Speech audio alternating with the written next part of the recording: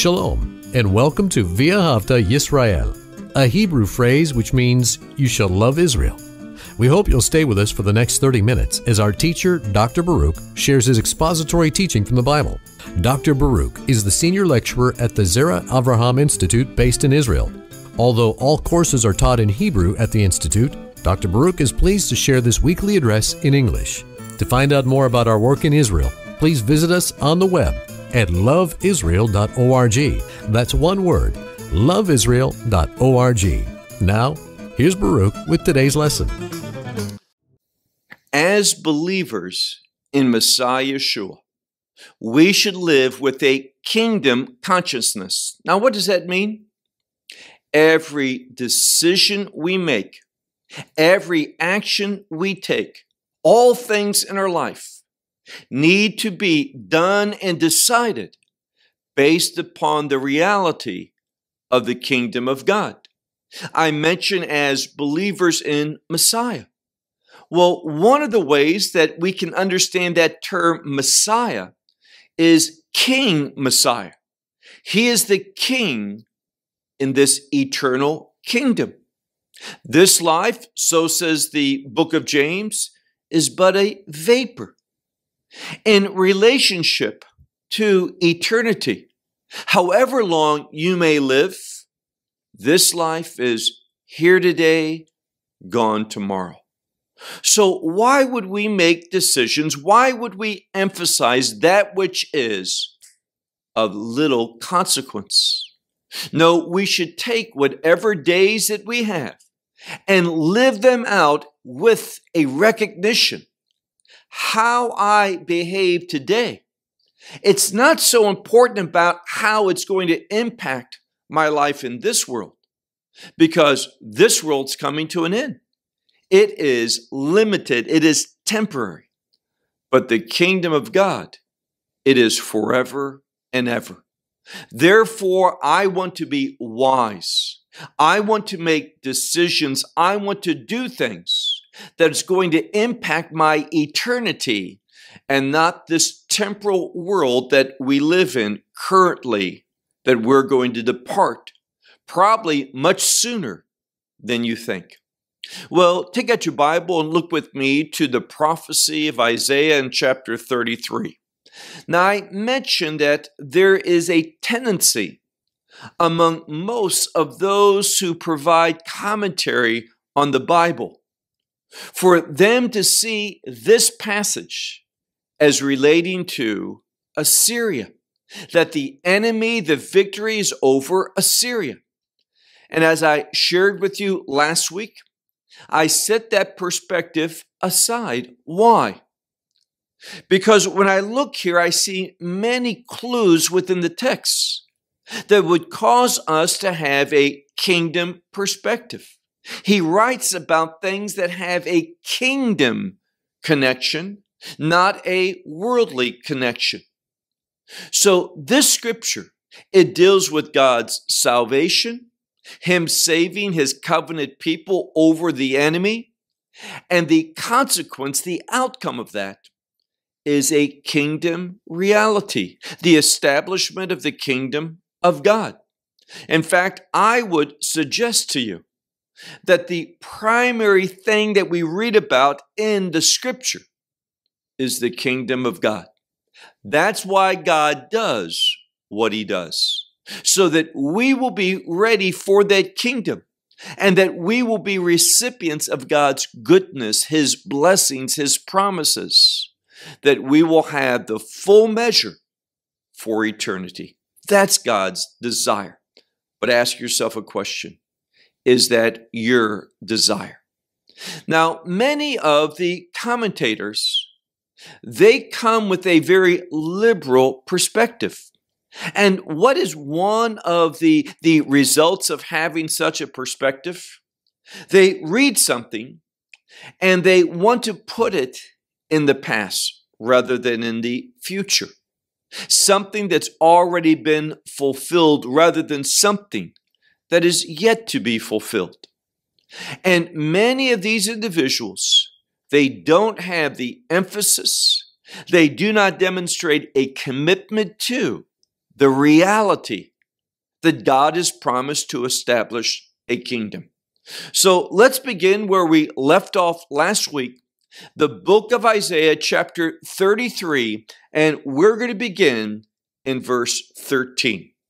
So we're going to complete, God willing, we'll complete this 33rd chapter, and we want to pay close attention to all the clues that Isaiah gives us. All these things that he was inspired to write down in order that we can grasp God's revelation to us. So let's begin. Verse 13, he says, Listen or hear. Again, this is a word that demands a response. God's not just speaking among himself or to the heavens. He wants us to receive this revelation and respond to it appropriately, correctly. So he says, listen, and then he has a word for far away. And obviously, he's speaking about far away places and primarily those people who are far away. He says, Listen, those who are far away, to what I have done, and know those who are close my might. So there's a relationship here between what God has done and his might, his power. And it's because of God's might that he's done this. Now, in many people's mind, when we look at this, we see that, that in the Hebrew language, biblically speaking, there is a, a very common tendency to put things either in the future or in the past. And many times the past is used only for the purpose of describing something in its entirety. Sometimes the past is used to describe a future event, but to show that this event is assured. It is going to happen. And I would suggest to you that's exactly what God is saying here when He says, What I have done. He's talking about two things. He's talking about this defeat, as he's already prophesied, of the enemies of Israel. Israel being brought into a redemptive relationship and therefore experiencing, as a consequence of redemption, victory. God has already done that work of redemption. And now he says to those far away and those who are near, some of the commentators, they see those who are far away, those of the Gentiles. Those who are close, we're talking about the children of Israel. And when we deal with what God's going to do in the last days, it has implications for all of humanity. God, as we know, is not a respecter of people, meaning he doesn't have his favorites. God has called Israel in a unique way to serve him so that God's message, his purposes are made known to all the people of the earth. So he says, listen those who are far away what to what I have done and know those who are near my power. And then notice the next verse verse 14. He says two important things here. It begins with a word for those who are afraid, those who are experiencing great fear. And who is that? Well, those who are sinners in Zion, Zion. And what it's saying here is this God in his kingdom, he is not going to tolerate sin. Sin in the kingdom of God, and I believe we're speaking about the millennial kingdom, under the administration of Messiah Yeshua, sin will be dealt with quickly. God will not give during this millennial kingdom long periods for, for repentance, that the long suffering of God will be manifested. Not so in the kingdom of God, this millennial kingdom. In the New Jerusalem, there will not be sin, but in the millennial kingdom, there will be. And what he says here is that those who are in Zion, and this is oftentimes a, a word that relates to the kingdom, specifically the millennial kingdom, those who are in Zion who are sinners, they should be afraid. And, and fear, and this is a word for trembling or shaking, has seized who? Those who are hypocrites. So we see a correlation between those who are sinful, those who are hypocrites says one thing but behave differently, that, that God is going to behave in his administration of the kingdom, so that those who are sinful, they're going to be afraid, and those that are hypocritical, they are going to be shaking. They're going to be trembling because of God's righteous rule. He says at the end of this 14th verse, he asks a couple questions. He says, Who is he that will dwell with us? And then he has this term, a devouring fire. Now, devouring fire speaks of God's judgment, and again, it's related to Him not tolerating sin and destroying those things that are of sin. So he says, Who will live, dwell, reside, the word yagur, who will dwell with us? And with us might be a reference to the triune God, to the heavenly hosts with God, however you feel led to interpret this. But who will dwell with us in this midst of this fire that's devouring? He says again, same term, who will dwell with us? And then we have this, this fire, this burning, it's a different word, and it deals with burning places that are forever, eternal burning places. Now, what it simply speaks about is that God is going to consume all those things that are not of his kingdom character, those things that are in conflict with it. So he asks the question twice who's going to dwell with us and personally? In the same way that we see in the book of Genesis, let us make man in our image, I believe it's a reference to the Trinity. Can I prove that? No. Those who believe it refers to the heavenly hosts or the, the presence of those who are in, in the heavens, perhaps, but I see it relating to the Trinity. And then he says in verse 15, he answers the questions. Who is going to be the one who dwells with us? He says, the one who walks righteously and who speaks uprightly. And by the way, the word righteously is in the plural, and the word upright is also in the plural. So those who walk in righteous deeds and those who speak those things that are upright. And then he says something else. Keep reading. It's a word moes. Moes is a word for loathing something. Now, it's just not, I don't want this, I don't like it. It's a much stronger term. The one who loathes, and what does he loathe? Profit that, that was achieved or received by oppression. And again, the word oppression is in the, the plural, so by oppressive activities. What should one do? Well, we have the word for, for moving one's hand. And this would be a gesture to say, no, this is not for me. I'm rejecting it.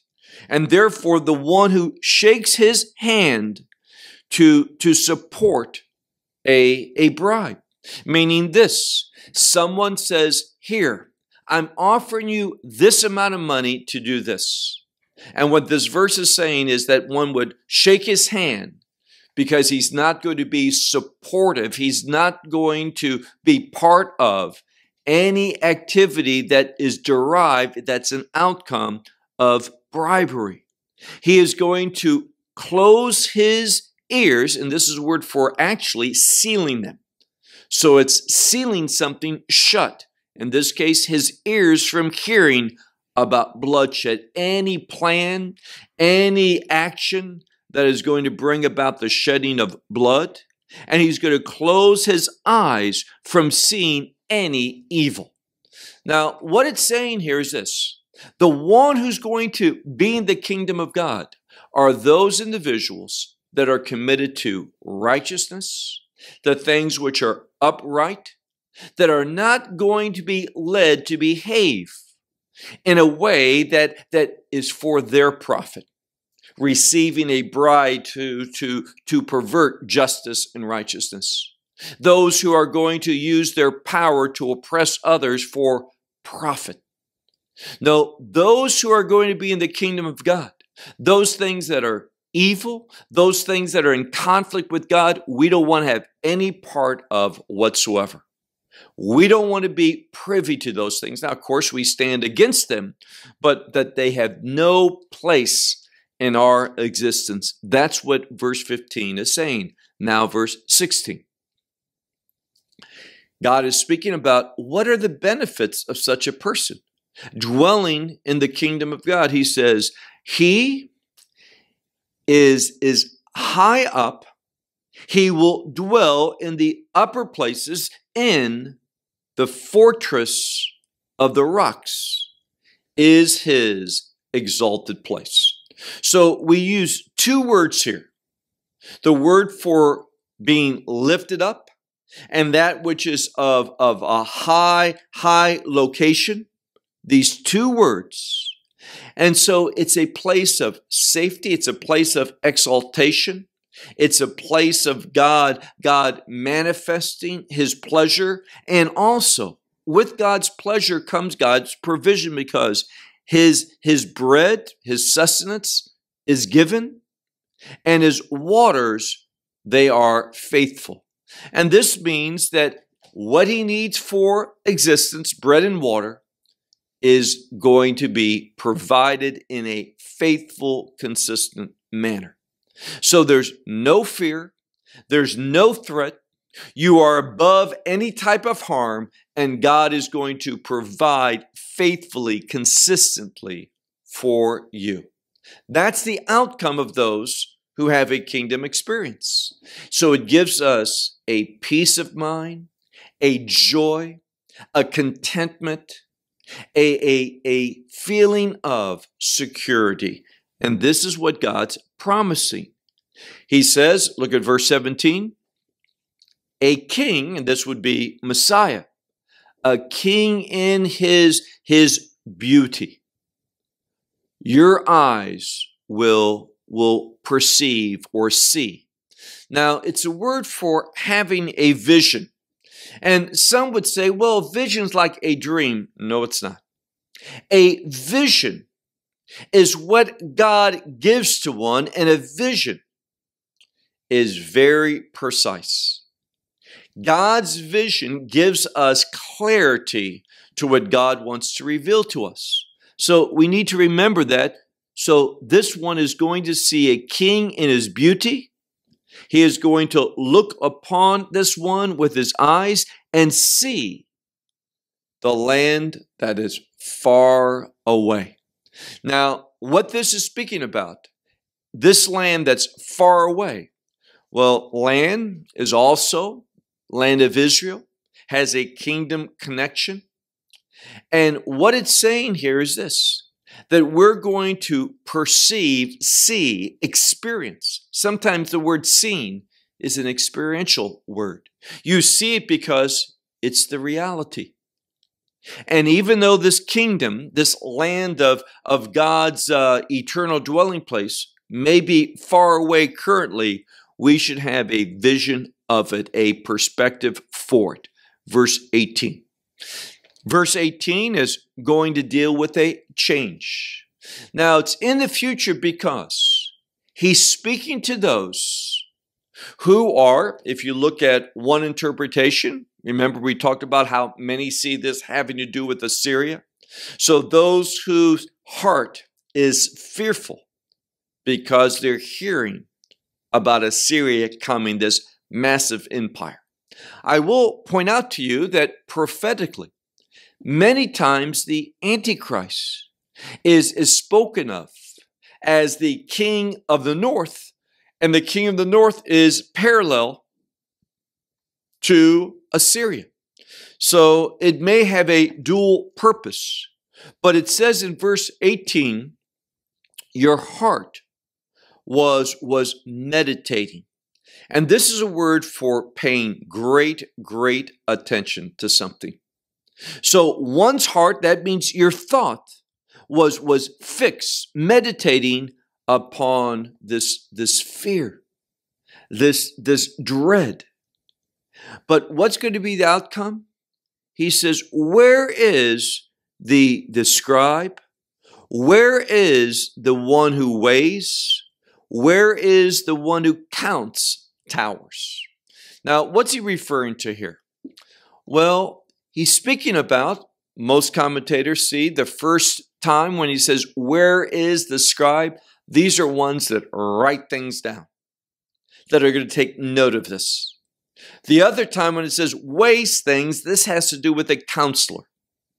And the third one, it's also the word sofer, but it speaks of those who are counting. And the counting of towers was for the purpose of knowing how strong a, a city was. So these were the ones who would take consideration. Battle, war was coming, and they were fearful. And therefore, they began to act to see what they were up against. And what God is saying is, because He's going to fight the battle. We'll say, Where is this one? He's not there. God does not. God does not scope out the enemy to see who he's up against. It doesn't matter to God. That's what this passage is saying. Those who have feared in the past, those who are fearful about the future, need not be because God's got this under control. With God is none of those people who are taking down information that may be helpful in some later battle. There's no one that, that is weighing, that is giving counsel on what to do, what not to do. God doesn't need counsel. He does as he pleases. And God carries out his objectives. And it doesn't matter how many towers the enemy has. They are no match for God. This is what it's being said. Verse 19. And the, the bold people says, You will not see. These ones who are bold or, or brash, those ones who, another way that we can understand this word is those who are fierce. So it's speaking about an enemy. And he's saying, those who are fierce, bold, brash, that set themselves against us, he says, you won't see. And a people that have uh, a deep speech, and this means things that are, are hard to understand. Their speech is not easily grasped. Nor, he goes on to say, that these who have a deep speech which is difficult to understand, and those who have a tongue that, that stammers. So, whether they're talking about an enemy that is kind of a barbarian, doesn't even communicate well, or those who are of great intelligence, it simply doesn't matter. God never size up. He never uh, pays attention to who the enemy is because Nothing is difficult for God. So we're not going to even see the enemy. This enemy has no, notice how it ends this verse, verse 19, and be not, which means there is no understanding. This enemy does not understand who he is up against. This one is prideful. Pride produces foolish activity in one's life. And that's what these opponents are doing. They are opposing Almighty God. They are standing in opposition to the will of God. The will of God, in the end, it will be achieved. It is foolish. It is going to bring about despair. It is going to bring about eternal destruction for those who set themselves up against the things of God. And that's why we read, look at verse 20. It says, and and Sion, this is the city of, of the kingdom. It's a reference for a kingdom experience. And it says, Sion will, will have a vision of the city of his appointed times, his festivals. So Sion is going to see that, that city of the festivals. Now, we're speaking about Sion is parallel to Jerusalem. And what we're being taught is this how important for understanding kingdom reality are the festivals, the biblical festivals. Now, you know who knows that very well? The Apostle Paul. Why do I say that? Because if you look sometime at Colossians chapter 2, he tells us that, that these things, such as the festivals and Shabbat and Kashrut, that is the kosher laws and such, new moon festivals, all these things. So we're talking about the festivals here. Every festival, Paul says, it is a shadow of things which are to come. Many times people say, why, why don't you like the New International Version? Well, one reason why I don't like the New International Version, the NIV, is because it's not a literal translation. It is done by those who have an agenda, and instead of translating things literally and accurately, they translate things very, very loosely in order to support their preconceived perspective. That's one. Secondly, that it is a translation that is deceitful. In that passage from Colossians chapter 2, verses 16 and 17, where it says that these things, like Shabbat, the new moon festivals, the dietary laws, and the festivals, says all of these are a shadow of things which are to come. NIV says which were to come. Doesn't say which were to come says which are to come. And the, the substance that casts this shadow is Messiah. Now, what's coming? It's a kingdom. And what gives us the perspective for the kingdom? Messiah does, of course. But what the scripture tells us is the more that I understand these individual festivals, the more I'm going to better understand first Yeshua himself, and secondly, the kingdom that Yeshua will establish. And this is the same thing we see in verse 20. It says, Sion will, will gaze upon the city of our festivals, and your eyes will see Jerusalem. And what's Jerusalem? Here again, this is in the future. It's a kingdom prophecy. Jerusalem is going to be a oasis of stillness or quietness. And it says a tent that that cannot be be moved, one that will not travel, and then it says whose pegs and these are the pegs that that you you drive in a, a tent cord to to hold it up. It says and will not travel its tent cords forever. And all of its, its, its cords. So you have the pegs, now you have the cords. All of its ropes, it says, will not be severed. This is the same word for, for example, in modern Hebrew, when you're disconnected in a phone call, you use this phrase. So it's disconnect or sever. That's not going to happen.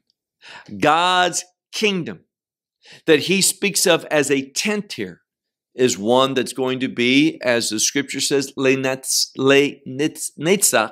Netzach is forever.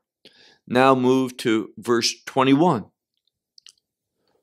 For since there, and that's literally what it says, Now, some Bibles, there's the expression ki'im in Hebrew. Usually, ki'im means rather. But that's when there's a line that connects them. There's a line here, but it doesn't connect ki'im, but rather ki stands alone, and the word im stands with the word there, sham. So the rightly, right way to understand this, and the word im, it can mean if sometimes, but it can also mean since or because of. So for since there is the mighty Lord. That's why this, this kingdom's eternal. This is why things don't change or move or disconnect it, because the mighty God is there for us. It's a place of rivers, and it's the second word for rivers, but this is a, a bigger and a stronger river. And then we have the word rachave yadayim. This means wide. And it's in the plural to say that these rivers, these streams, they are massive. Now, a massive river is also going to have a very strong current. The bigger the river, usually, the harder it is to cross it. Not simply because of distance, but because of the power of that current within the river.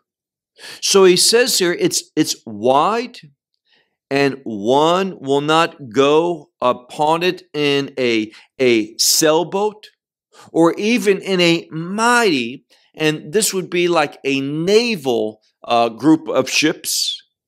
It will not what? They will not uh, uh, pass over it.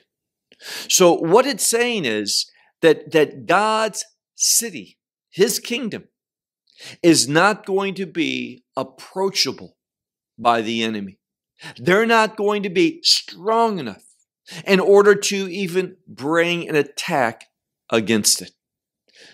It's simply a poetic expression using terms in order to cause us to understand the safety that we do not need to fear anything in the kingdom of God. Now, someone will say, now, wait, in the millennial kingdom, there's going to be those that go out. Satan's going to be released. Yes, he is. After a thousand years, Satan's going to be released. He is going to deceive many that are born in that millennial kingdom during those thousand years. They're going to go out and they're going to want to come back. But they're not coming back because fire's going to consume them. So the message is that God's kingdom is totally defensible. It will not be breached by the enemy. That's the message here. Now let's press on to verse 22. For the Lord, He is our judge. The Lord, He is the one who makes law. The Lord is our King, and He is our Savior. Now, those things being put together are so important. God judges us. He judges us by what? His statutes, His laws that He's put forth. For He is the King, but He's also our Savior. So He's judge, He's the lawgiver, He is the King, and He is Savior. He takes all of these things upon Himself. Verse 23. Now we're speaking about how the enemy is not going to be successful. Those things that are left to the natural has no longevity.